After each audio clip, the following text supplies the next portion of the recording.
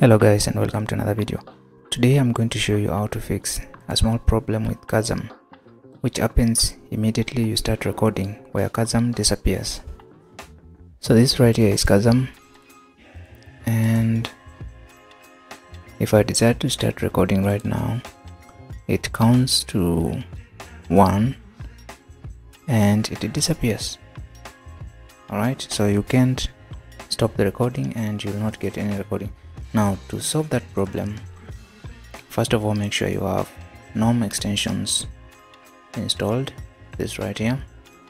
Again make sure you have gnome tricks installed. Then go to your chrome browser and go to gnome extensions and search for this extension right here. Remember this is an issue only for gnome desktop users.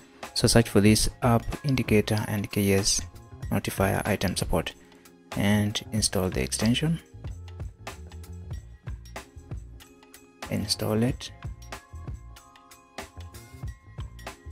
And you are done.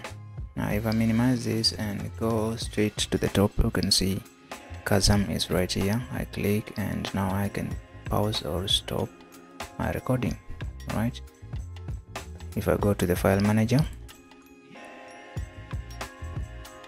my recording is right